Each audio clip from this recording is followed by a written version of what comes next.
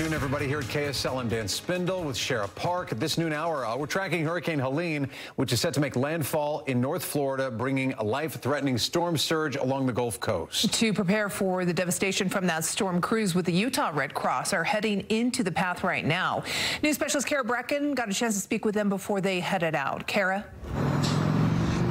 Hey, Dan Shara. Yeah, I'm hearing from Mark Ellison, and I caught him just minutes before he hopped on a plane to head out to Atlanta, Georgia, where he'd then be driving over to another area in Georgia to help out with a shelter for those impacted by the storm.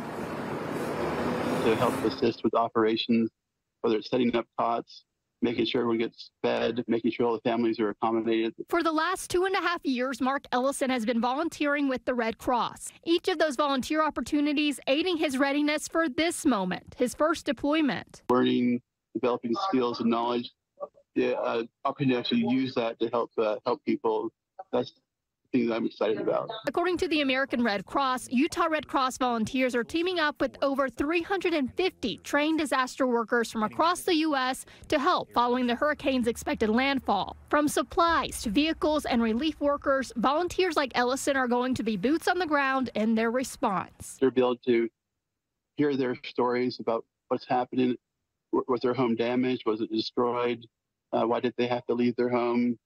To kind of uh, comfort them, show compassion and empathy. He says no matter your age or ability, so long as you have a heart to help, there's something for you. There's so many different roles, whether it's helping with a blood draw, draw um, blood correction, whether it's um, helping um, veterans. So there's so many different avenues they can serve in. So if they're more physically able and they want to be involved with the disaster relief team, now, four others from Utah are also heading out to help with this hurricane, so they will be boots on the ground and ready. And as far as Ellison, he says that he hopes to help out with even more deployments in the future. Now they're reporting live. I'm Kara Bracken. Back to you. So grateful to have people like him oh, yeah. willing to go out there and help the community.